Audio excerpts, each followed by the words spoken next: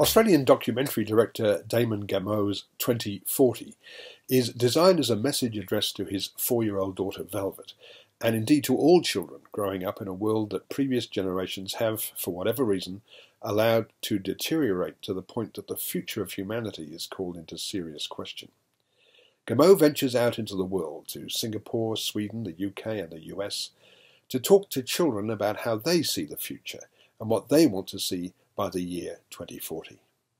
He also examines ways in which the technology we already know can make serious improvements. Gameau explores all kinds of positive possibilities marine permaculture, the future use of electric hire cars so we won't need to own our own cars, he even sees a future in which parking areas are converted into gardens. We adopted regenerative practices like phrases, pulling the carbon into the soil and making it healthier. That's right, yeah. And we embrace efficient local energy. Bangladesh has 5 million solar home systems. They have that power in their own hands. This is bringing people together.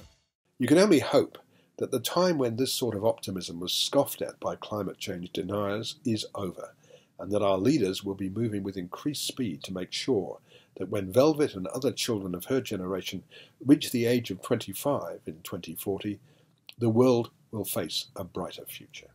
I'm giving 2040 three and a half stars.